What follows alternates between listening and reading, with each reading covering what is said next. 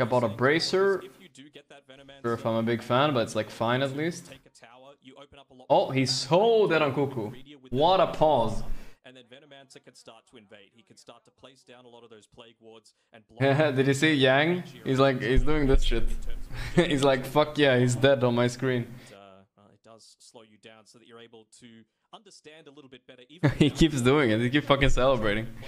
Play, and then go for Nice. nice. like Topson just did. I mean, he tried to do it bot at three minutes. He did it top at four minutes, and it, well, it worked out really well. But it's got to keep going. Let's see.